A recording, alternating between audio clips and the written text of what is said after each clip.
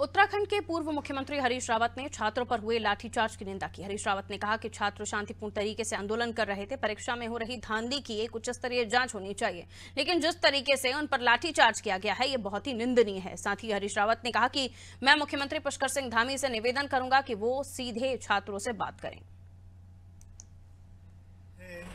जो बच्चे एक ऐसा तंत्र मांग रहे हैं, ऐसी व्यवस्था मांग रहे हैं, ताकि वो अपनी योग्यता का स्वच्छ निर्धारण करवा सके, एक निष्पक्ष परीक्षा तंत्र मांग रहे हैं। अधीनस्थ सेवा चयन आयोग में उसके बाद पब्लिक सर्विस कमीशन में एक के बाद एक।